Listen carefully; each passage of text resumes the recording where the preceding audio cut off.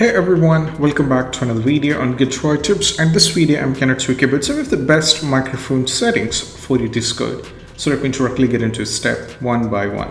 So first of all, you have to open your Discord and we're to talk about some of the best and famous one that you can try in order to make your Discord smoother and it sounds very good. So the first one, you can go over here at the bottom left and there is an option called users settings and click on this one and from here you have to scroll down all the way down and you can see we have various options over here. And the first one is all about voice and video.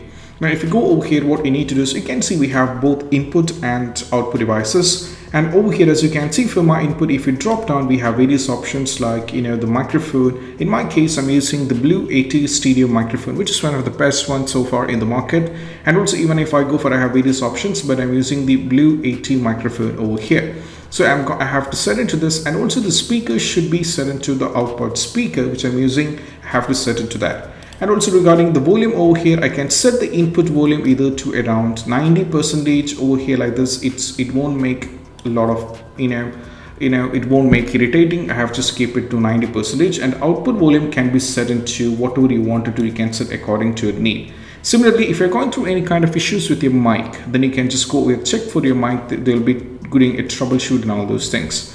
Next one is all about if you go over here on the input profile, you can see we have voice or isolation, which means while you're streaming and all those things, you know, it will be only your beautiful voice, which means rest every kind of background voices will be completely turned off. And also the studio, which is a pure audio with us you know which is you're going to speak with your microphone and no processing but even though it is a good one but even though i'm not recommending what i'm recommending is you can keep this on custom one where you can make all kind of changes and all. Because if you keep over here on the studio mode while you speak you know your breathing and all those things can be visible to other people. They will be able to hear it. And for some users they might be a lot of you know irritating. So i request you can keep this on custom.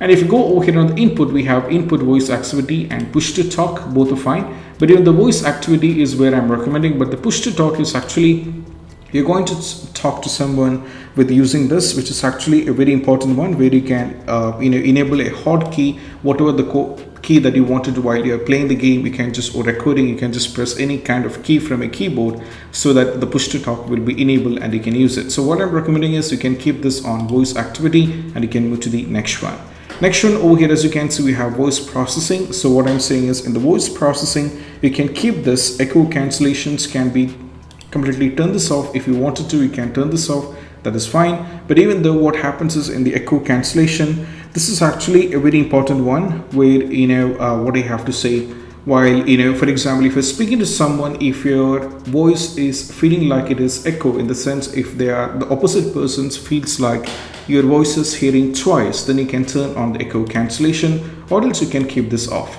Now if you go over here in the noise suppressions we have various options like Krisp standard and none. What i'm recommending you guys is you can keep Krisp all the time because it's one of the best one and even if you scroll down, you can see we have options like advanced voice activity, automatic gain control, and even the bypass system audio input processing. So over here, like I said, you can keep this on, you can turn this on, and also the automatic gain control can be turned on, and the bypass system audio input processing can be turned on as well.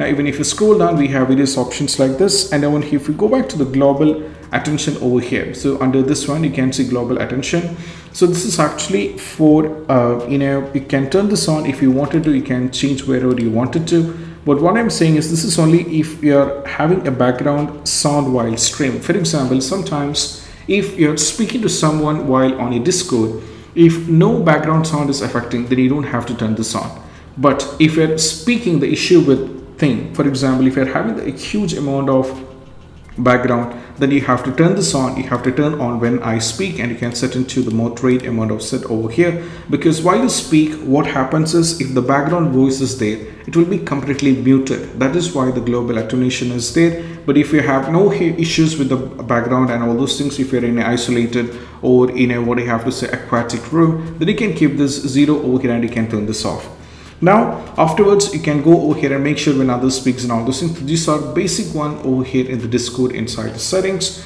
And now we need to make a few more things over here. That is we just need to go over here in the sound setting. You have to right click over here and go to the sound setting over here. And right now you can see first one i need to select the output to the speaker over here as you can see because uh, you know it should be speaker so I have to select this one. And also make sure where the volume should be so I have set into 24 percentage which is very feasible for me. And also if you go over in the input you have to select which one is you need. For example you have to select the microphone ET's uh, I mean the Yeti stereo microphone. So I have selected this one and I have set into 100 percentage over here.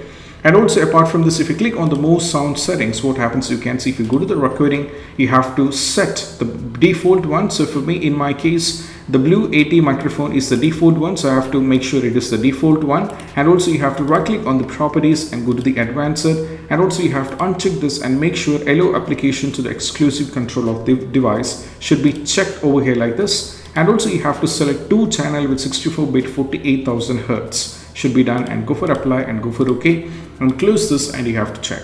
So these are the best settings for the Discord and I hope this quick video is helpful and if you find this video helpful don't forget to subscribe and click on the bell icon for more notification. That's it. Bye bye.